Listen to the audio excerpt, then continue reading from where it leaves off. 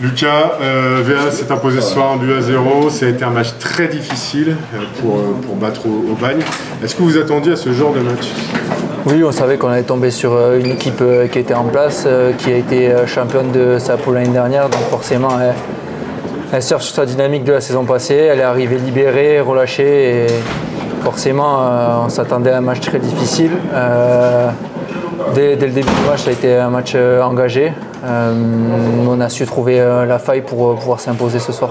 Sur quoi tu penses que l'équipe peut progresser Je pense qu'elle peut progresser sur les automatismes offensifs. Euh, on peut progresser encore dans, dans les 30 derniers mètres. Euh, voilà, c'est c'est un match qui, qui nous lance sur cette saison. On va prendre confiance au fur et à mesure et pour jouer un peu plus libéré euh, tout au long de la saison. C'était important ces trois points pour lancer la saison, quelle que soit la manière Je pense que c'était important déjà d'un point de vue comptable. Ensuite, c'est dans les têtes. Voilà, c'est euh, un match qui, qui lance euh, une saison positivement euh, pour le groupe, pour les supporters. Euh, je pense qu'il fallait commencer sur une belle note pour pouvoir travailler en confiance pour la semaine suivante.